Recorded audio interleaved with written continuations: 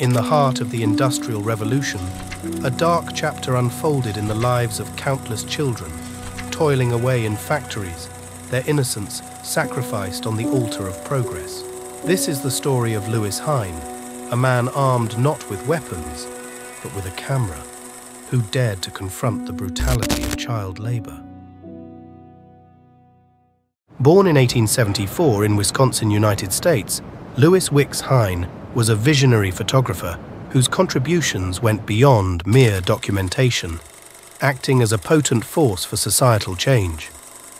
In the midst of the social upheavals of the early 20th century, Hine took on the challenging mission of exposing the harsh truths of child labour. Through the medium of photography, he effectively conveyed the silent suffering that often remained unacknowledged.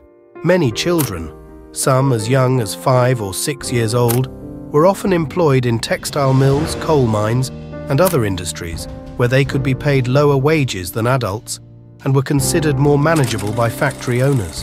The working conditions were deplorable, with long hours, little to no breaks, and exposure to dangerous machinery.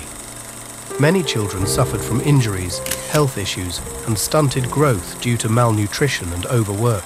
While studying sociology at various universities, Hine eventually found himself as a teacher at the Ethical Culture School in New York City. A keen photographer, he sparked a revolution in education by encouraging his students to use photography as a tool for learning. During a field trip to Ellis Island, Hine had a vision, realizing that photographs, beyond their educational value, could serve as potent instruments for social change and reform. His destiny took a pivotal turn when he assumed the role of photographer for the National Child Labour Committee. Little did he know that his next decade would be dedicated to documenting the harsh reality of child labour in the industries across North and South Carolina. This seemingly innocuous task was risky, as many factories were determined to conceal their use of child labour. Threatened with violence and death by foreman or factory police, Hine resorted to assuming various identities, such as a fire inspector, a postcard vendor, a Bible salesman, and even an industrial photographer, meticulously capturing the truth. Hine's work was not just technically impeccable, it was profoundly human. His photographs not only showcased the stark reality of child labour, but also revealed the resilience and spirit of those enduring it. His tenacity was instrumental in bringing the grim issue to the forefront of public consciousness. One of Hine's most impactful images is that of 12-year-old Addie Card, a young spinner in a cotton mill. This photograph, among others, became a symbol of the plight of child labourers.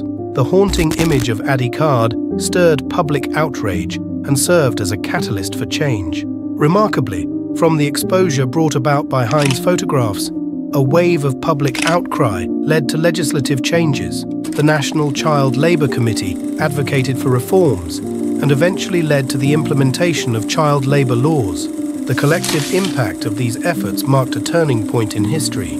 Today, the National Child Labour Committee honours Lewis Hine with an annual award, recognising individuals who passionately advocate for children. Through this accolade, the committee pays tribute to the man whose name has become synonymous with the fight against child labour, acknowledging the lasting impact he made on the lives of young people across America.